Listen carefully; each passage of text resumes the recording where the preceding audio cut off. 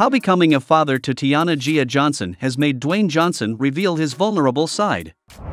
The Rock is one of the most well liked men in Hollywood, but there's a role he takes seriously that has nothing to do with his career fatherhood. Dwayne Johnson, affectionately known as The Rock, is one of the most well liked individuals in the entertainment industry. He has also had an incredible career, successfully transitioning from WWE to film. There is a lot to find fascinating about him, but as far as his personal life goes, perhaps one of the most beautiful and standout things is how dedicated he is to be a father. And not just any father, but an excellent one. His social media is filled with pictures and videos of his girls, giving fans a glimpse into his life and showing his vulnerability. He is also more than happy to discuss his love for his children during interviews and the lessons that fatherhood has taught him.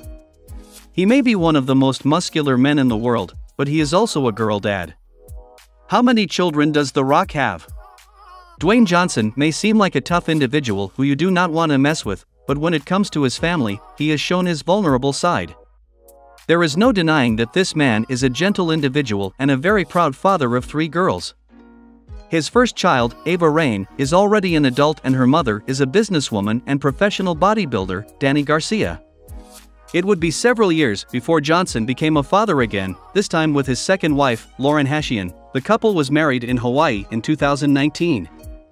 The couple has two daughters, Tiana Gia Johnson, born on April 17, 2018, and Jasmine Johnson, born on December 16, 2015.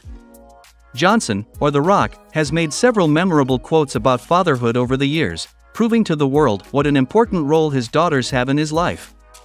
While the title of this article mentions his youngest and how she helped her father to reveal his vulnerable side, the truth is this happened long before her birth.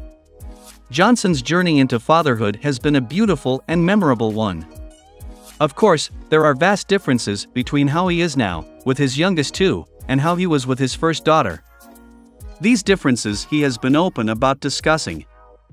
Dwayne Johnson became a father for the first time in 2001 when he and his first wife, Dany Garcia, welcomed their daughter Ava Raine, whose real name is Simone Garcia Johnson. He has gushed about her several times over the years, including when she attended New York University and later when she decided to follow in his footsteps and become a professional wrestler. She signed her contract with the WWE, it just blows my mind, Johnson told Jimmy Fallon in 2020 via Us Weekly.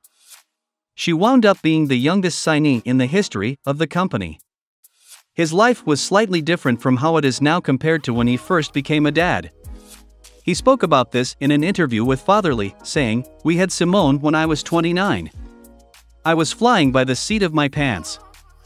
All of the dads out there know, and a lot of moms out there know, when you're in your 20s, you're still trying to figure out who you are and your place in the world. He continued, I was so effing excited to be a dad, but terrified at the same time. My own references at the time were my own dad, and he raised me with tough love. When speaking about the shift between becoming a first time dad and how it was for him years later, he explained, I see the world in a different way, through a different lens. The taste for an idea of success is different. I still chase it today, but with a different perspective and a different anchoring. I was making a transition to Hollywood, trying to be the best husband and best dad I could be as a brand new father. Now, being in my 40s, I've lived a little bit of life. I hope I'm a little wiser. It allows me to be a greater dad. That's all for today's video make sure to subscribe to our channel for more videos like this.